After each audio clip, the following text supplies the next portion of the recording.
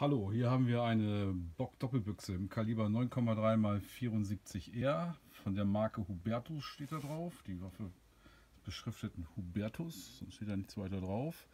Dann ist mit Hilfe einer Schwenkmontage ein Buschschnell 1,25 bis 5 x 32 montiert.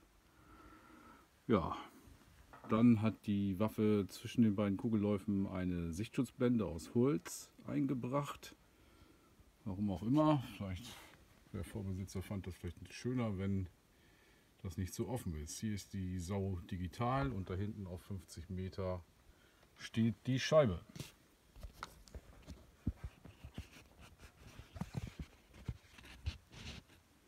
Und jetzt wollen wir mal schauen, wo die Waffe hinschießt.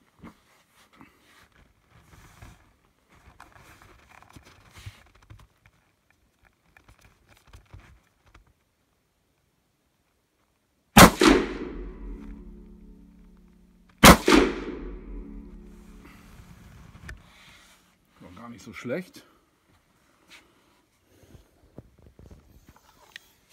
Bisschen hoch in die 10. Der zweite ist ein bisschen links daneben, aber das sieht doch nicht schlecht aus. Ja,